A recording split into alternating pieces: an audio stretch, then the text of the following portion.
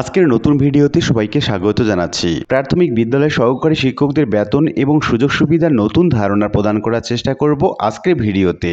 সম্পূর্ণ ধারণা পেতে ভিডিওটি না টেনে দেখুন। এরকম নতুন নতুন ভিডিওর আপডেট পেতে চ্যানেলটি সাবস্ক্রাইব করে রাখুন। ভালো লাগলে লাইক, কমেন্ট করতে ভুলবেন না। তাহলে শুরু করা যাক। প্রথমে জেনে নেওয়া যাক কোন গ্রেডে কত বেতন? প্রাথমিক ও গণশিক্ষা মন্ত্রণালয় সূত্রে জানা যায়, সরকারি প্রাথমিক বিদ্যালয় সহকারী শিক্ষক হিসেবে যারা যোগ দেবেন, শুরুতেই তাদের বেতন হবে তেরো গ্রেডে, এগারো হাজার থেকে ছাব্বিশ হাজার পাঁচশো নব্বই টাকা। মূল বেতন এগারো হাজার টাকা। এর সঙ্গে বাড়ি ভাড়া, চিকিৎসা ভাতা, টিফিন ভাতা এবং যাতায়াত ভাতা যোগ হবে।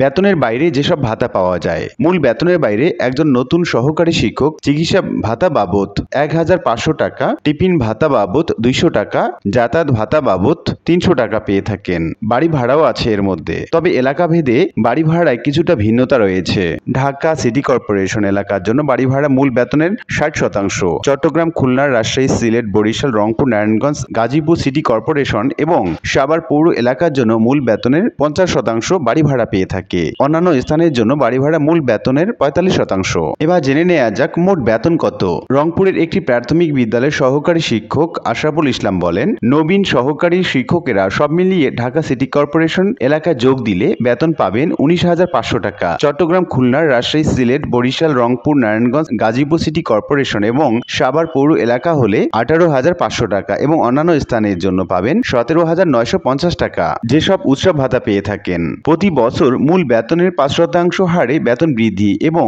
পাঁচশো পঞ্চাশ টাকা বেতন বৃদ্ধি বাড়বে। বছরে মূল বেতনের সমপরিমাণ দুটি উৎসব ভাতা পেয়ে থাকেন, অর্থাৎ এগারো হাজার টাকা করে উৎসব ভাতা। মূল বেতনের বিশ শতাংশ বৈশাখী ভাতা রয়েছে প্রতি বছর। এছাড়া চাকরি জীবনে দুটি টাইম স্কেল পাবেন শিক্ষকেরা। এখন আসা যাক পদোন্নতির ক্ষেত্রে। গাজীপুরের একটি প্রাথমিক বিদ্যালয়ের সহকারী শিক্ষক আবুল হাশেম বলেন, সহকারী শিক্ষক থেকে পদোন্নতি পেয়ে সহকারী প্রধান শিক্ষক এবং প্রধান শিক্ষক হিসাবে নিয়োগ পাওয়ার সুযোগ থাকলেও বাস্তবে পদোন্নতি তেমন হয় না। উপজেলায় পদ খালি থাকার সাপেক্ষে পদোন্নতি পাওয়া যায়। অনেকে চাকরি জীবনের বিশ থেকে বাইশ বছর পার করেও প্রথম পদোন্নতি পান। আবার কেউ চাকরি সারা জীবনে পদোন্নতি পান না। এবার আসা যাক অন্যান্য সুযোগ সুবিধার ক্ষেত্রে।